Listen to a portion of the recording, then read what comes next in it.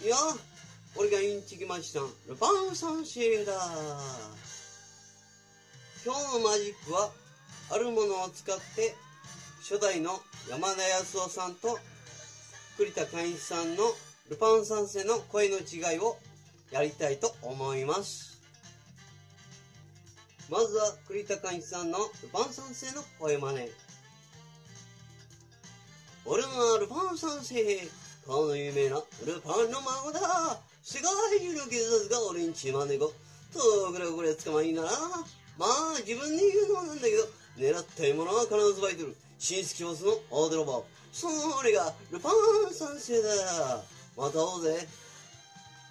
続いては、ルパン三世山田康夫さんの声真似。